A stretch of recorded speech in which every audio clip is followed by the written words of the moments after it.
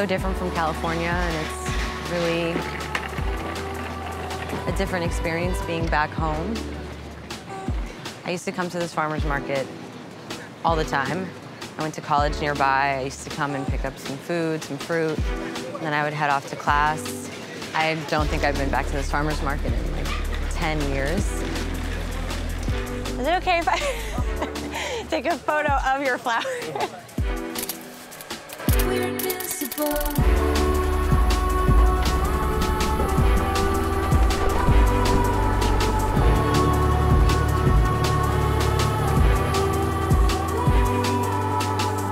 Learning about where all of the things here actually come from, learning where the mangoes actually come from at this farmer's market is crazy.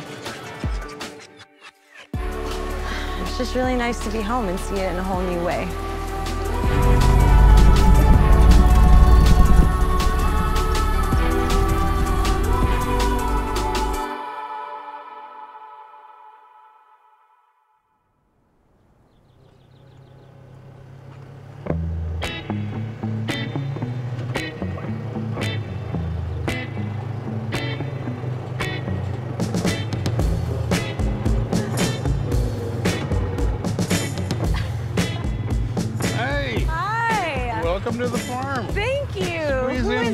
The dog and we'll take you up and introduce you to everybody. Okay, what's your name?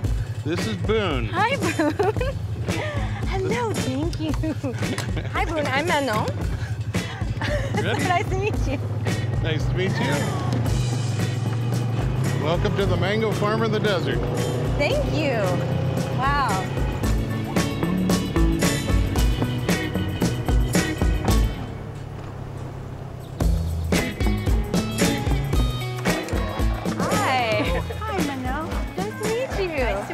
My wife Debbie, my son Jason, and my son Barrett. Hi. Hi. Hello. I'm Manon. Nice to meet you. Nice to meet you. Well, let us show you around. Yes, I would love All to right. see the, the whole place. Yeah. Well, this is the, we're in the southwest desert. This is the Salt Sea you see right here behind you. Oh, wow. Yeah, It's right so there. it's a huge inland salt water lake about 200 feet below sea level. So my grandfather, he saw another farm across the Salton Sea have mangoes. So he started to bring a few in to try them out. Um, he started with a handful of varieties, and we found that the two varieties, Valencia Pride and Keitt, worked really well in the desert. And then from there, we just kept on adding. You know, I think we've gone over 30, 30, 30 to 40 different varieties so far. Right over here is our nursery.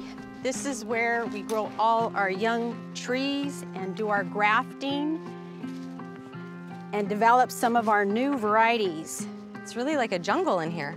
In here, we're trying to attain the perfect moisture level, humidity, um, and uh, protect it from the wind.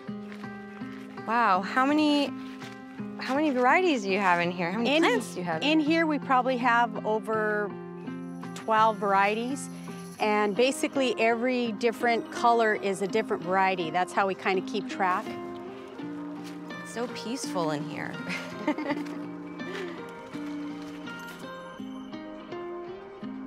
Let me show you the water, part of the water system here, okay. over on this tree here.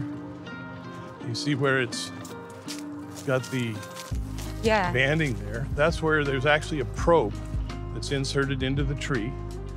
And then there's a sending unit that works off of solar and it sends all the data to my phone.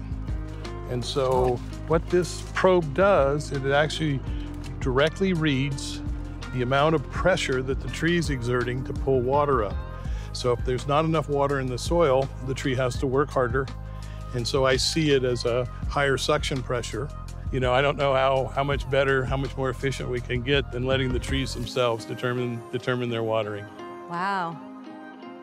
Um, what are these? We bag the fruit. If the sun hits at a certain point on these mangoes all the time, we'll get a sunburn. Right, And that'll okay. ruin the fruit. this is sunscreen. It's a sunscreen. It's very important. That's right. You're born and raised here, and your whole family's here? Yeah, yeah. Uh, myself, my brother, um, we were both born just down in town uh, in Indio, and we're raised on the farm for the early part of our uh, years. And um, you know, we participated as kids do, just small chores here and there. And then we, you know, went through our, you know, high school, middle school years, and we were in and out of the farm. And then we kind of, you know, get out and learning the world, right, as young adults do. And What was the thing that made you really want to come back here, dedicate your life to expanding the farm as a family? Well, I think it's, you know, we're just kind of lucky that it is here for one, and it being here, you know, when you're young, unfortunately, I think so many times you take the things you have for granted. And going out into the world, giving a lot of different other uh, experiences a go, and then realizing kind of that the, gr- the grass is not always greener on the other side. It's kind of where it's taken care of. And so you realize wherever you may have a foothold, I guess, or a place to call your own, you can just take care of it and make that place better, right? So, Yeah, I guess back to family Mhm. and what you grew up with and what you know. yeah.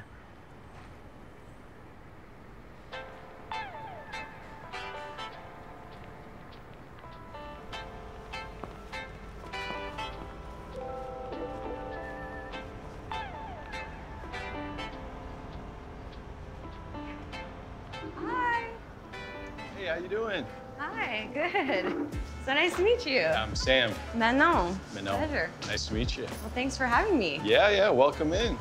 This place looks like incredibly well styled. Oh, thank you. When Ray and I were opening Las Palmas, we uh, our idea was to open a bar that happens to brew beer versus opening a, a traditional what you would think of as a brewery. Uh-huh. So that's kind of how we went about just like let's make this place like a reflection of us. So you know, Ray's a skater and um, I like books. So it's just kind of like I, I look at it like you're basically walking into our our home here. So let's go check out the brewery. Okay. All right, follow me. So this is our small um, two barrel brew house. And basically what that means is a barrel is, uh, i- in case you're unfamiliar, is 31 gallons of beer. Okay. Um, and so this keg would be a half barrel, 15.5 gallons. Okay. We package about four half barrels per batch. This is obviously tiny. Why did you decide to do this kind of unique way of, of brewing beer rather than the other way? When I'm making beer, this is much more of a feel process. I am certainly not a scientist. I'm creating something and I'm, you know, feeling certain things or like, yeah, the clouds on that day or how it's smelling. And that's kind of what drives me in my brewing process. Yeah, so this is, I think we're gonna call it uh, Orange IPA. It's not as orange in color as maybe it will be in the end because you see there is like, it's almost a green hue from the hops. So once that, all the hops have kind of settled out during the crashing process, it will be a little more orange in color. Since we don't use any fruit in our beers, we'll write on our menu, hey, this orange IPA has notes of mango and citrus. And then people will drink it and say, well, I really taste the mango and citrus. And then we'll have to say, well, there's no mango and citrus in there, but the hops give off those flavors. I 100%, 100% smell mango. Y- Yeah. It's like just, Yeah, exactly. I'm blown. I don't know if you just got in my head or if that's No, like, yeah, it actually just maybe a straight little, up uh, smells like mango to me.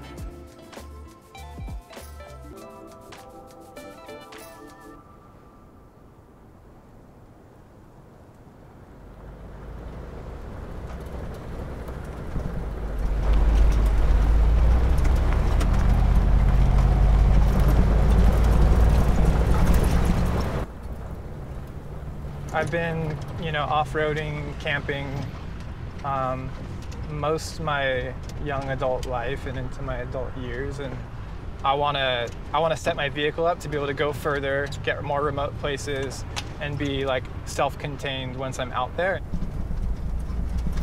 Yeah, we'll go, you know, 100 miles into the middle of nowhere and camp for a couple days.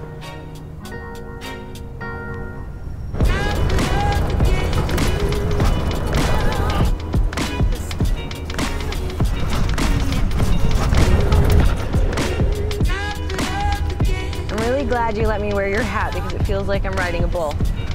It it's not that different.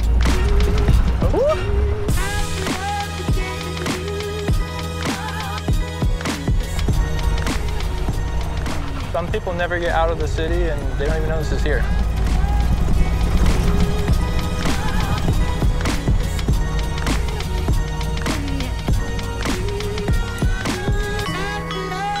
Just feels like you're on a completely different planet. It feels like you're in another world.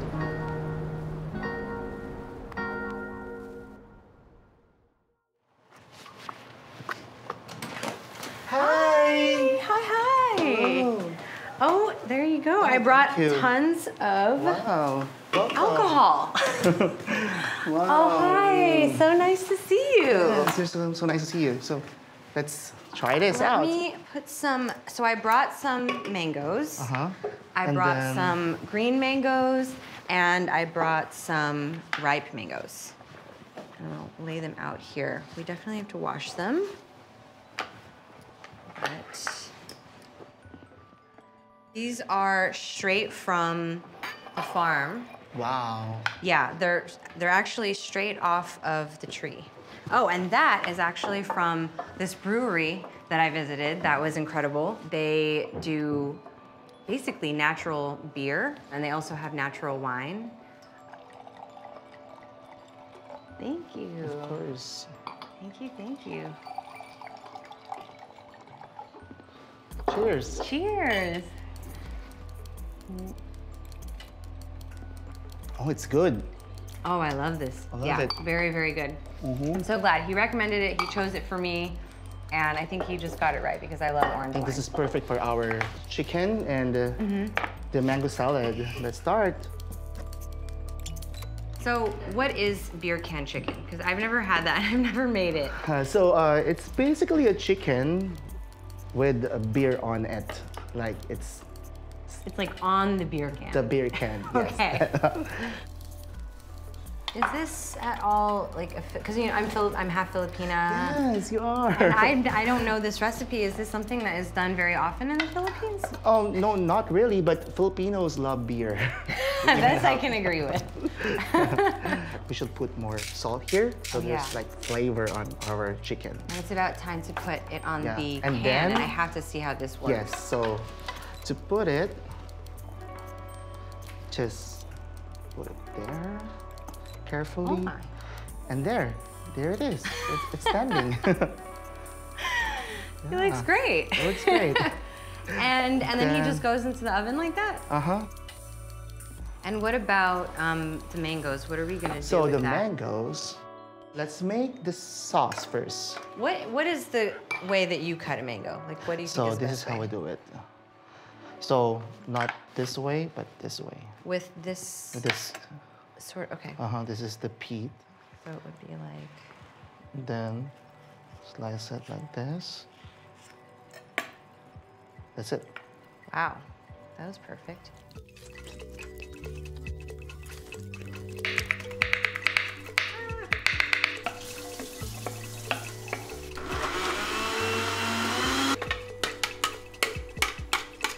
We have to taste it. Mm, it's good. I love it. Mm, so good, so so good. Yeah, it's not that Mm-hmm. spicy. No, not at all. I can handle that. Yeah.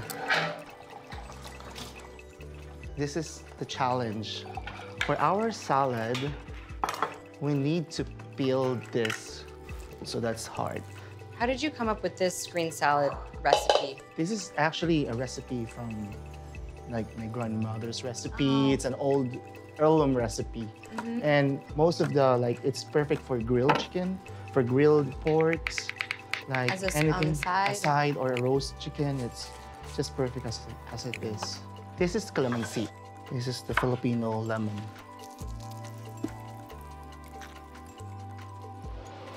Ooh, it's hot. Beautiful. Wow.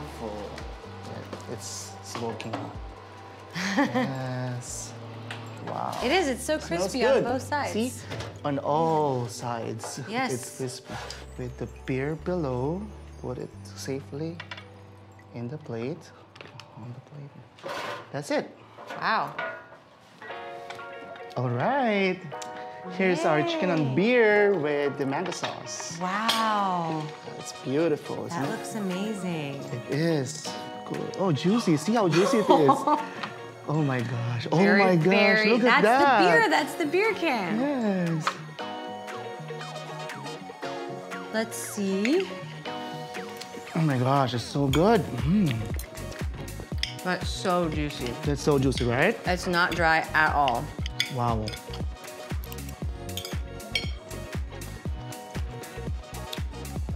I think that goes so well together. The tartness of the salad. Mm-hmm.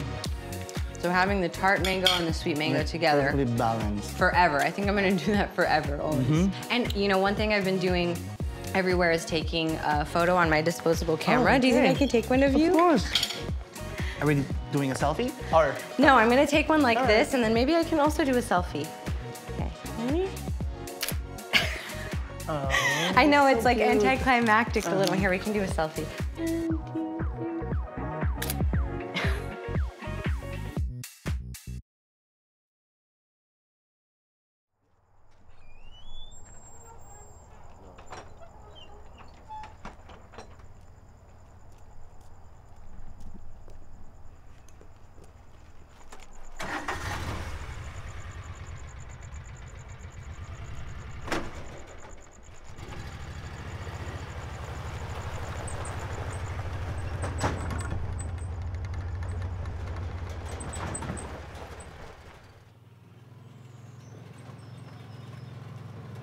Good morning. Hi.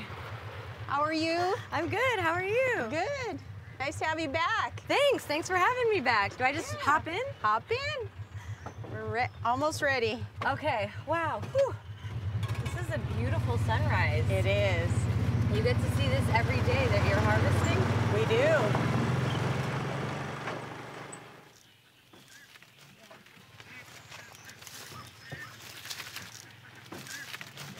All of these should be ready to go? No, No. no, we only pick them as they ripen. Okay. So that's why we go through every third day and look for color.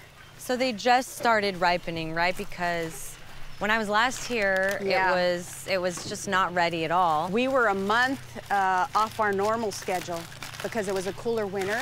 Okay. So yeah, they, they are finally starting to ripen, so it's it's time.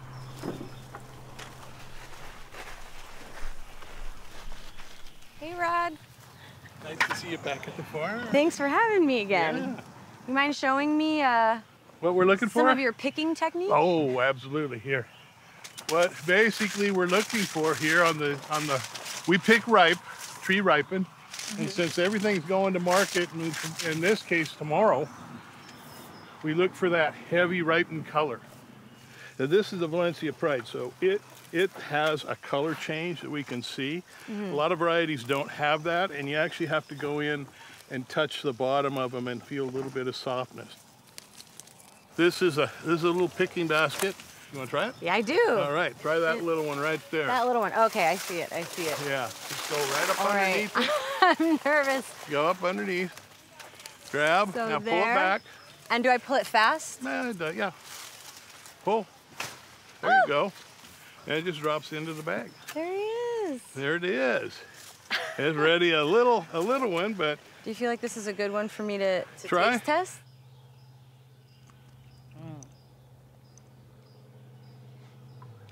That Right. is, it's so, so soft. and it's So so, flavorful. Yeah, the sugar Incredible. and acid Uh-huh. balance and everything. Mhm. The vine ripe mango, there's nothing like it. Okay. mm.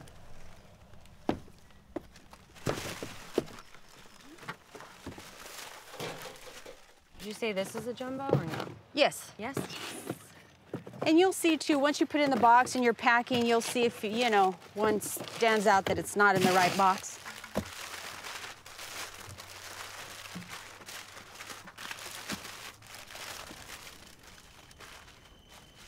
One thing that really strikes me about this process since you've had me here mm-hmm. helping is that it's so tranquil here. It's so peaceful. It's almost therapeutic. Is that do you, is that something that's really common or is that really just here that it's so You know, I think it's just the small family farm atmosphere. Uh, you know, the corporate farm has its place, obviously, you know, but, you know, it's the small family farms that can kind of adjust and, and fill in those little niches and things. Pick, oh, just the ripeness that they want, get them to the market, get it in people's hands right away, and give them an experience that they just can't get anywhere else. That's something really special having it hand picked, having it done by hand. Seems like it brings uh, something incredibly unique and special to this process. That's it. It'll, it'll always be that way.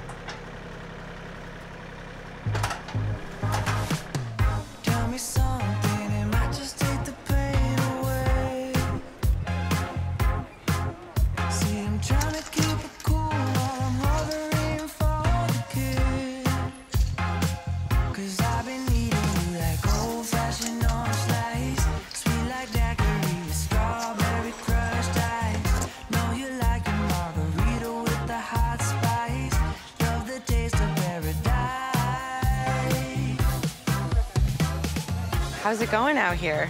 Uh, it's going. Yeah, they always come in waves. You just opened right now, right? Um, I mean, yes.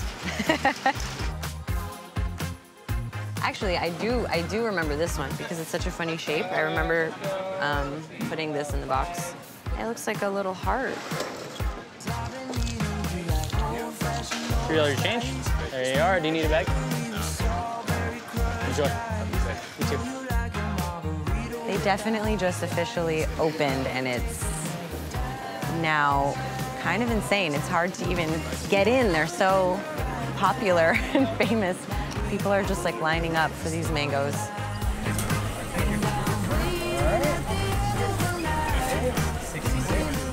it feels really enriching to have something like this. It like doesn't because when you like have something from the supermarket, you like don't necessarily feel the same delight.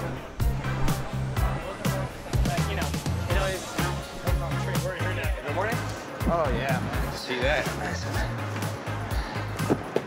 I started just delivering, you know, potatoes, and you know, not knowing what I'm delivering, to knowing what you know what this is exactly. I look at it, I look at the list, and like I feel the connection. I see the name, and I see the connection. I see the, the face of the person, you know, who grew it. These are, I mean, we sell it, we sell it out every week. You know, we have to get more and more. People can't get enough.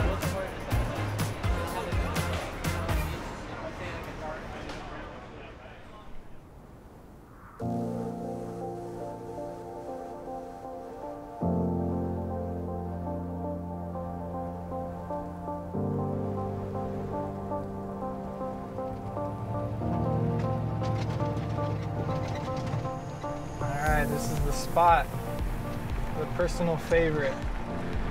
It's really nice. Yeah, I like it. It's nice and tucked away back here. Yeah, it seems very secret.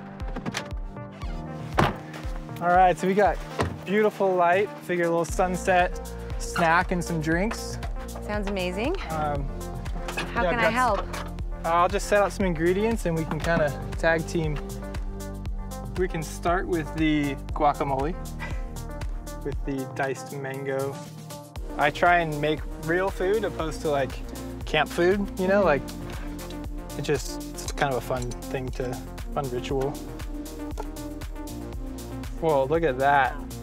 See, that's perfect. I'd say I know how to cut a mango. I would say that too. See 10 out of how to- 10. Normally I just eat it off at this point, but we won't do that. All right.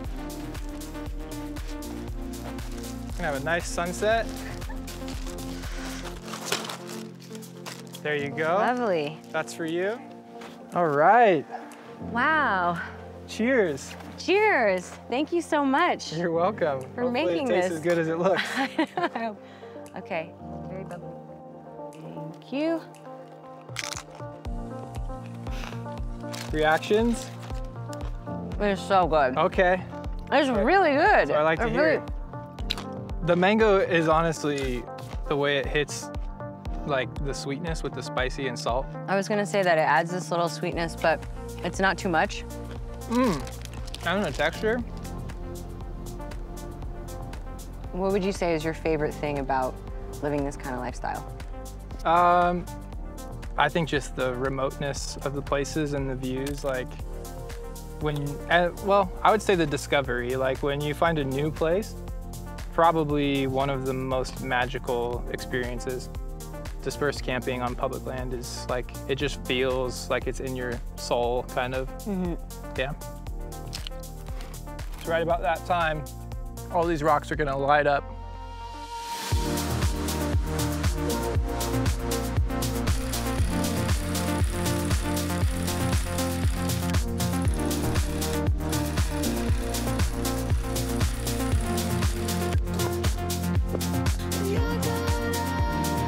Smile.